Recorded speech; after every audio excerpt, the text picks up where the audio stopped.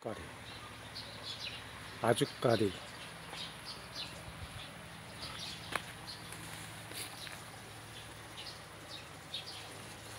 이렇게 열매가 열리고 이 열매로 기름을 짰다고 아주까리.